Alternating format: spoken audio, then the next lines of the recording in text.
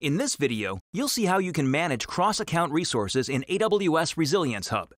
In Resilience Hub, you can get a centralized view of applications spanning multiple accounts, import cross-account resources, and run assessments to uncover potential resilience weaknesses. This diagram shows how we'll set up AWS Resilience Hub to use an existing role in our central admin account to access resources located in our resources account. First, we'll create the appropriate role in each account. Next, we'll modify the permissions and trust policies for these roles. Finally, we'll create an AWS Resilience Hub application in our admin account and add the CloudFormation stack from our resources account. This page in the AWS Resilience Hub user guide includes the permissions we need to configure in each of our accounts to enable cross-account access. This IAM policy is required for the admin account. When configuring this policy, we'll need to enter the ID for our secondary account that contains the resources. Let's copy this policy for later use.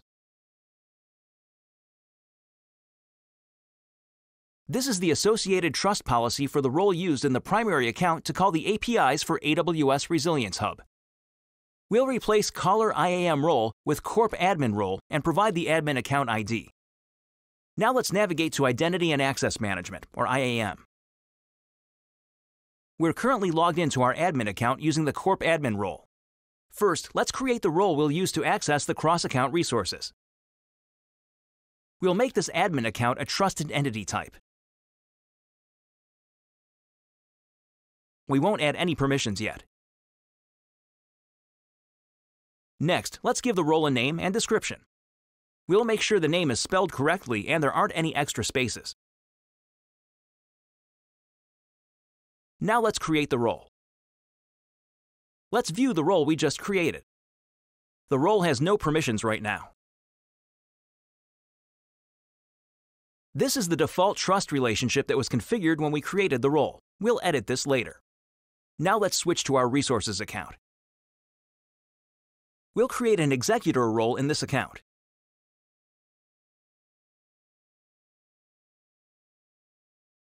Again, we'll skip adding the permissions for now. Let's add a name and description and then create the role.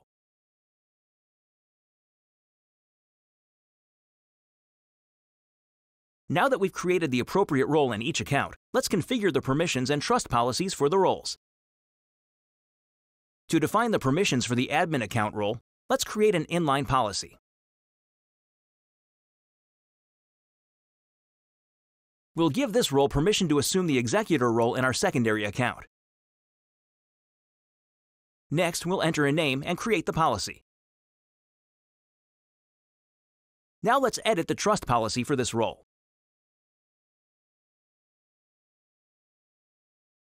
We'll allow the Corp admin role to assume this role.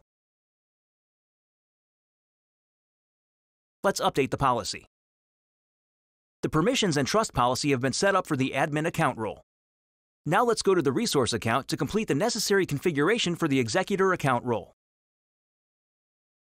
Again, we'll create an inline policy.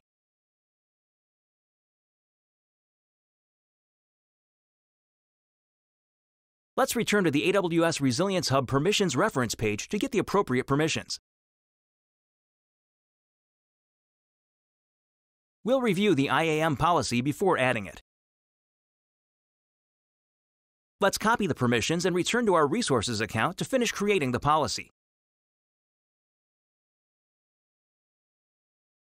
We'll replace the secondary account ID placeholder with our Resources account ID.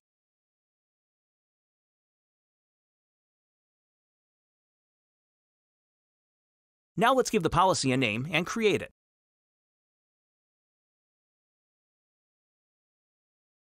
This role now has permission to access resources as defined by the policy that we added from the documentation. Now let's edit the trust policy.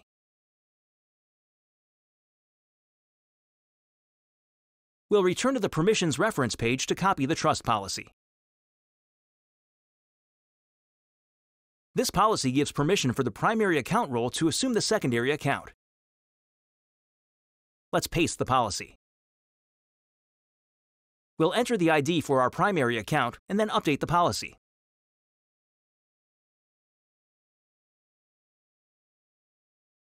Now that we've configured the appropriate permissions and trust policies for our accounts, the next step is to create our cross-account application. For demonstration purposes, we've already created a container application in our Resources account. Let's navigate to CloudFormation to copy its stack ID. Now let's switch to our admin account. We'll navigate to AWS Resilience Hub to add the application.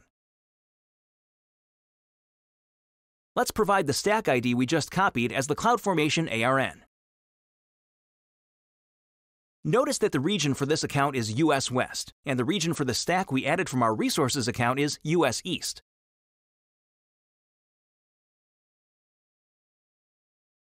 Next, we'll provide a name and description for the application. We can activate scheduled assessments to evaluate our application daily. To do this, we must enable the required IAM roles and permissions. We'll acknowledge the terms. Let's go to the Permissions Reference page to look at the specific requirements. This section contains the permissions required to use AWS Resilience Hub to manage scheduled assessments and the name of the role that needs to be configured. For demonstration purposes, we've already configured these. Now let's continue creating the application. The resources for the application are now listed, indicating that we've configured everything correctly so far. We'll include all of the resources in the assessment. Let's select the existing resiliency policy and publish our application.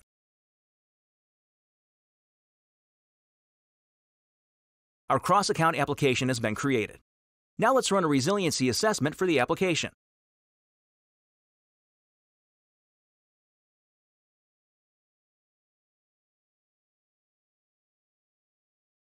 The assessment is now active. Let's look at the resources that were assessed. This screen shows that all of the cross-account resources were included in our assessment. Next, let's view the assessment, which has finished generating. The assessment ran successfully and identified a policy breach.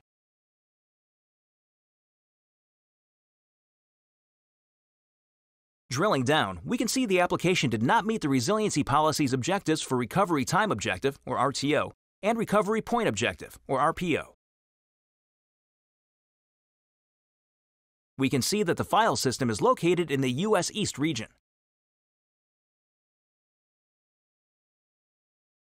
Next, let's look at the operational recommendations. Resilience Hub provides operational recommendations we can try before reassessing the application for resiliency. Here we can see recommended alarms for monitoring our application's resiliency.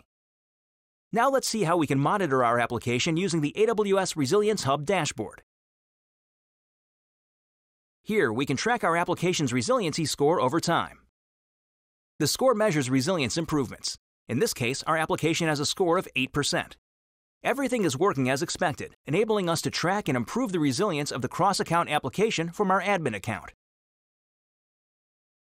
You've just seen how you can manage cross-account resources in AWS Resilience Hub. You can learn more about this topic in the description and links for this video. Thanks for watching. Now it's your turn to try.